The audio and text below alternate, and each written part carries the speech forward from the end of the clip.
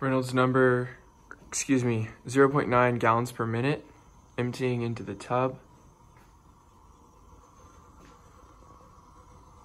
We have one scouring pad.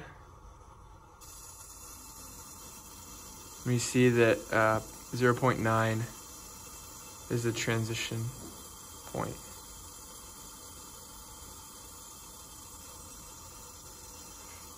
Now, if we move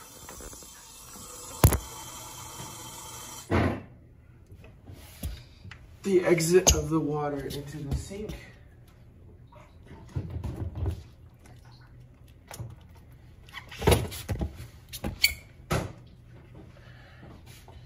we go to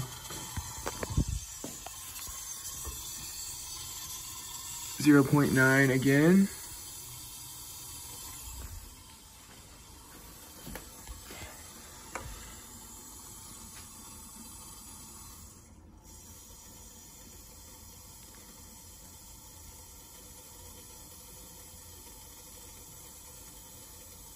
See that uh, there's no transition. Emptying into the sink now.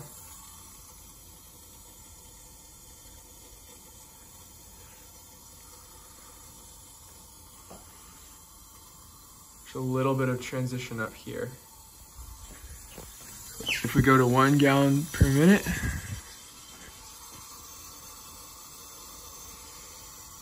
we start to see transition.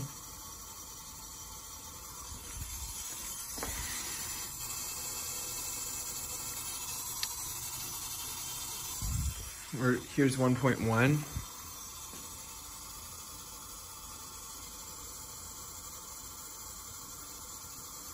See transition here.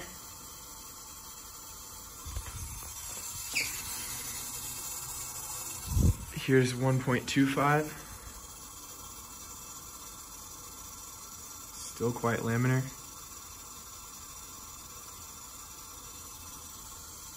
Transition is there.